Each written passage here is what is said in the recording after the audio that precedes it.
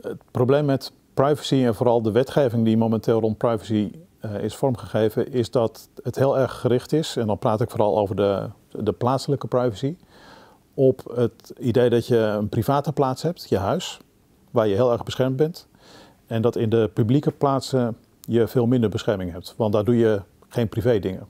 Dat was van oudsher zo, maar dat is sterk achterhaald aan het raken, omdat je door allerlei ontwikkelingen ziet dat het huis niet meer de plaats is waar alles privé gebeurt. Um, en je op straat tegelijkertijd ook veel kwetsbaarder wordt. Wat het eerste betreft dat het huis um, niet meer de plaats is waar alles gebeurt. Kijk even naar je mobiele telefoon, je uh, smart, uh, je tablet, je laptop. Um, die neem je mee als je naar buiten gaat. Of mensen hebben al hun gegevens in de cloud zitten. Die zijn dan overal toegankelijk.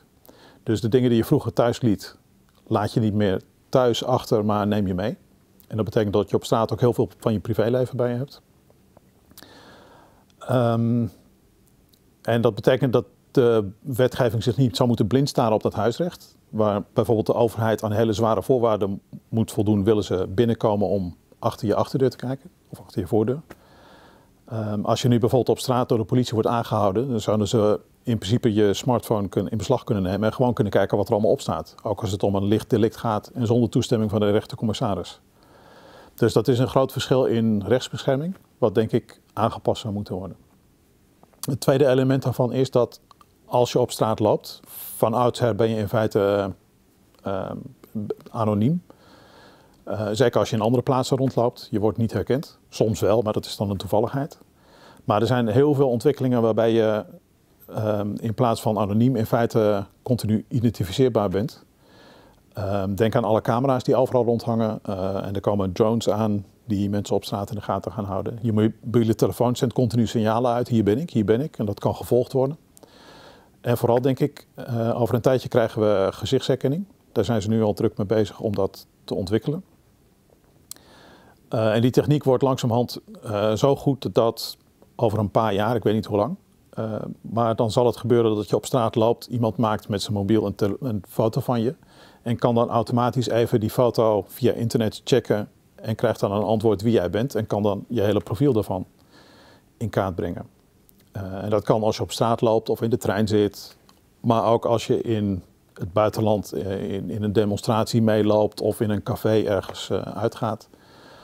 Plaatsen waar je traditioneel niet verwacht bekenden te zien, waar je dus gewoon helemaal vrij jezelf kunt zijn, moet je in de toekomst allemaal rekening mee gaan houden dat je ook herkend kunt worden. Hoe kun je dat tegenhouden?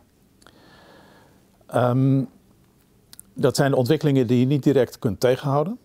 Maar je kunt wel proberen om het uh, in bepaalde banen te leiden. En ik wil dus vooral ook in mijn onderzoek vooruit gaan kijken. Uh, wat voor van die ontwikkeling komen op ons af? Wat gaat dat doen met onze sociale verhoudingen? En hoe zou dan zowel de wetgeving moeten worden aangepast? Ik denk dat er wat herziening nodig is van dat huisrecht. En dat moet in feite een soort huisrecht 2.0 worden. Dat het ook in de publieke ruimte uh, tot op zekere hoogte gaat gelden.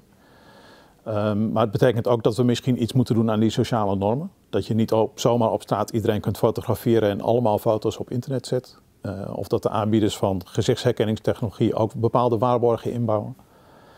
Um, en ik denk ook dat we dat met z'n allen over moeten hebben, wat we, hoe we hiermee om, willen omgaan. Maar dat is eigenlijk een tegenstelling tot wat we de afgelopen jaren met nieuwe techniek hebben gedaan. Die hebben we eigenlijk alleen maar omarmd. En dan zijn er gebruikers die iets, slims uh, verzinnen of uh, applicaties. En er is nooit enig normbesef op losgelaten. Dus waarom zou het hier wel op losgelaten worden?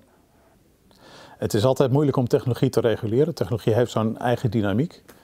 Um, maar gebruikers zijn ook altijd um, creatief in het omgaan met nieuwe technologieën. Vaak in uh, manieren waar we niet aan gewend zijn of die we niet hadden voorzien. Um, en dat maakt het ook lastig voor mijn onderzoek om vooruit te kijken, want je weet niet hoe, hoe dat in de toekomst gaat. Uh, maar ik vind het wel belangrijk om erover na te denken en met een aantal mensen en ook met uh, het publiek in discussie te gaan. Hoe wij daar nu tegenaan kijken. Want ik denk als je daar niks aan zou doen en je laat het allemaal op zijn beloop, dan over een paar jaar uh, zitten we in een situatie waarin je denkt van, vind ik dit wel prettig? Nou, misschien niet, maar dan kun je er maar weinig meer aan doen. En ik maak altijd de vergelijking, denk nu eens terug aan 15 jaar geleden. En hoe je toen zou denken hoe 2014 eruit zou zien. Dan had je vermoedelijk helemaal niet gedacht aan samenleving zoals we nu hebben. Met een NSA die van alles uh, van je registreert. Met uh, al die sociale media. Met al die telefoons op straat die foto's kunnen maken. En 15 jaar geleden zouden we ons daar heel ongemakkelijk bij gevoeld hebben. Dan denk ik, als we nu 15 jaar vooruit kijken, zouden we ons ook heel ongemakkelijk voelen als we al die techniek zomaar zijn beloop laten. Uh, wil niet zeggen dat het makkelijk is, maar we moeten denk ik wel proberen om er toch iets aan te doen.